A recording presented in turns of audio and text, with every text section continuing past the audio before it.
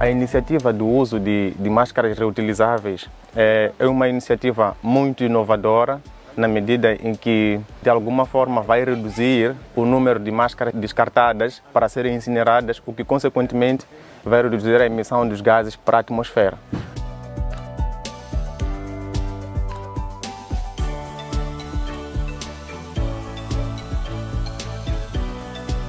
Então, incentivá-los é, a, a, a, usar estas máscaras, porque é, não só por sermos trabalhadores de saúde, que entendemos muito bem aquilo que são os impactos das mudanças climáticas, mas eu penso que também é um dever nosso como humanos de salvar o, o, o, o nosso planeta.